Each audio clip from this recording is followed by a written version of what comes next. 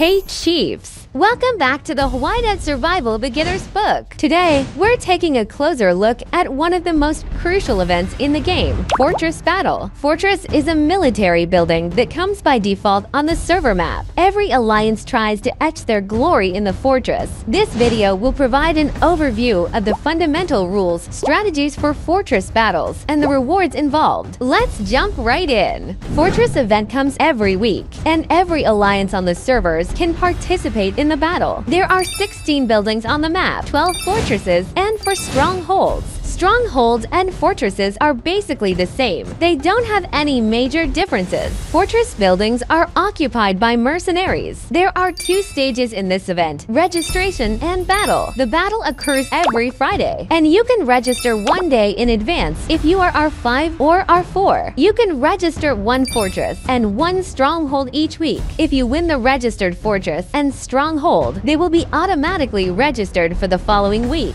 As an example, if you win one fortress and one stronghold in the first week. You can fight for two fortresses and two strongholds in the next week. You can fight for a maximum of eight fortresses and for strongholds in a season. Each season contains eight weeks. Remember, strongholds is not available in the first season. Fortress battle lasts for two hours, but if any alliance occupies it for a straight 30 minutes, that alliance will be declared the winner. If an alliance controls the fortress for 29 minutes, and another alliance defeats them. The cooldown will reset for another 30 minutes. If no alliance can maintain control for 30 minutes, the alliance that is in control at the end of the two-hour period will be the winner. Fortress battles mainly occur between the top 10 alliances of every server. Any alliance can participate, but lower level or weaker alliances have almost no chance of achieving victory. If you are a normal player, try to join a larger alliance. However, if you are R5 or R4, you will have a lot of responsibilities. Let's discuss this from the R5 perspective. First, you need to ensure who will stay online during the Fortress event. Next, you should select two strong players to serve as the rally captain and garrison captain as bonus members. The same person can take on both roles, but this will put a significant burden on one player and may lead to problems. Moreover, if one player's infirmary becomes full, they will start losing troops. Both the rally captain and the garrison captain should be strong players. If you don't have a whale, try to select someone with good gear and heroes. Fortress cannot be conquered solo, so you need to rally. According to the basic rally rules, there are four members who will provide rally joiner skills. The game will automatically select the highest level skills among the members who join first. Hero selection is important. The rally and garrison captains should use their best three heroes. Rally joiners have several options. Their Q captain should be either Jessie, Jasser, or Seo-yoon. These three are classic heroes. At advanced levels, you can use Reina, Wayne, Gwen, Norah, or Renee. Classic Garrison Joiner heroes are Patrick,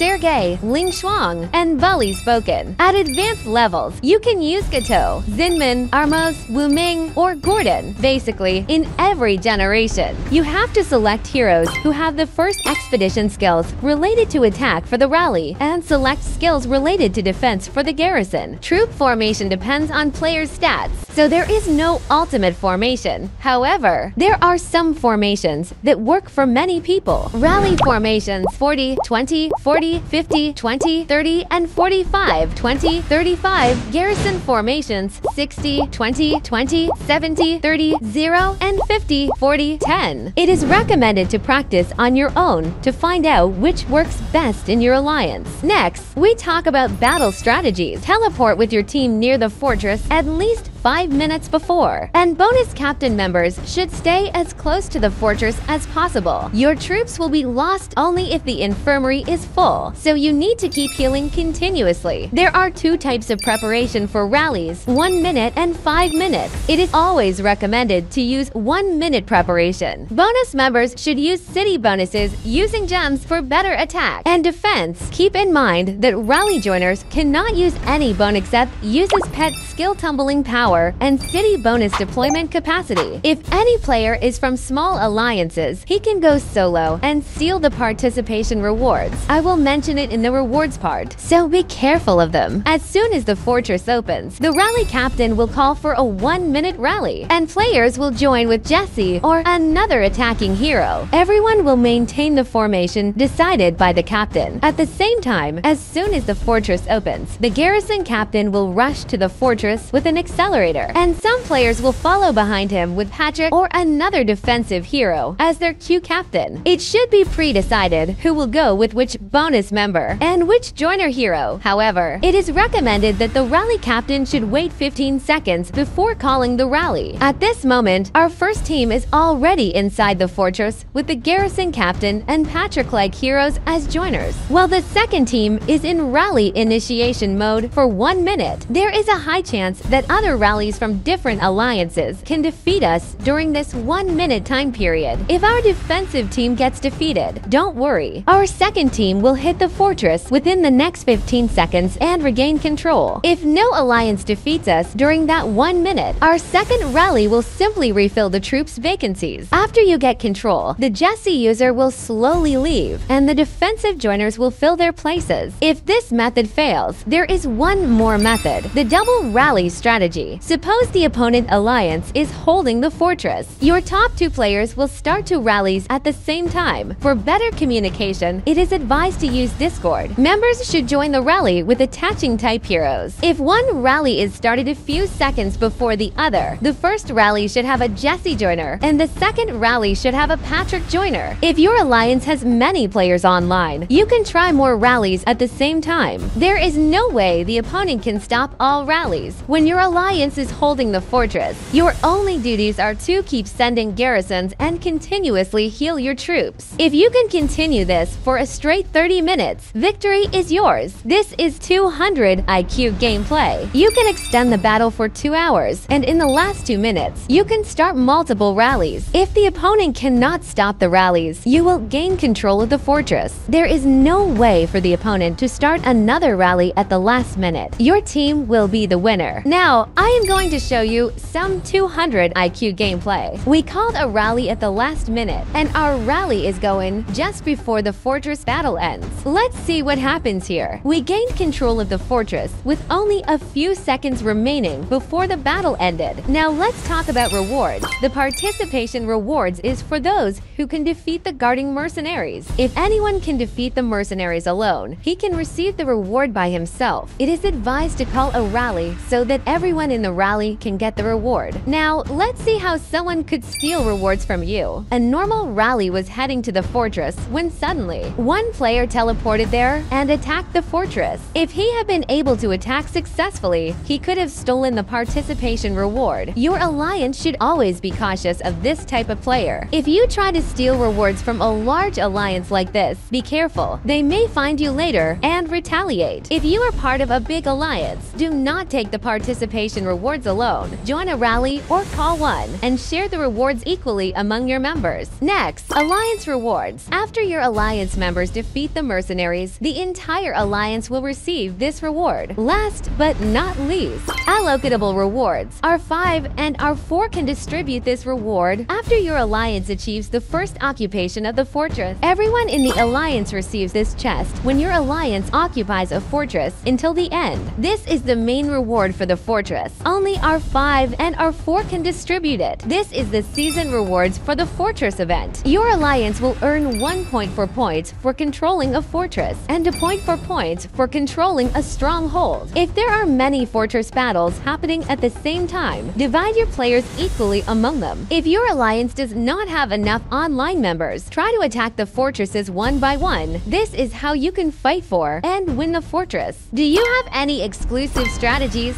Share them in the comments and join our official Discord for more. Stay tuned for the next video. Whiteout Survival. Play free now.